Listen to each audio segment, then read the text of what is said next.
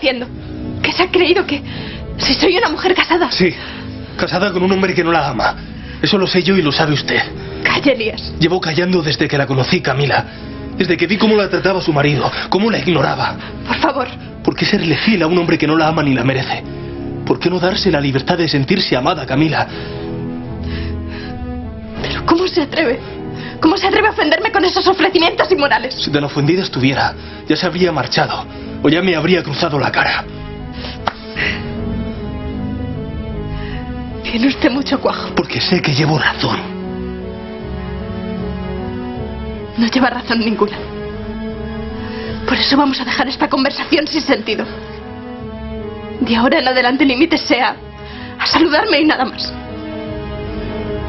Espere, Camila.